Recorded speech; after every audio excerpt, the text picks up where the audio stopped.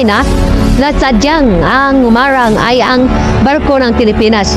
Mga kabayan, mga kaidol, ang 5203 ang barko ng China kung makikita po natin sadyang uh, ginitkitan ang barko ng Philippine Coast Guard na itong maliit at kung saan ay ito ay kinundina ng mga iba't ibang bansa ang ginagawa ng China Coast Guard.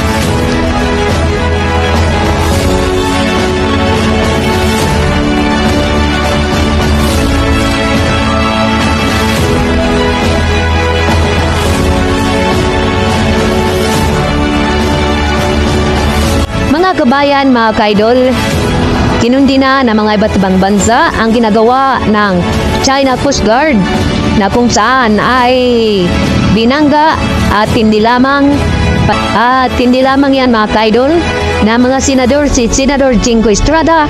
Uh, sabi niya this is a violation of our sovereignty.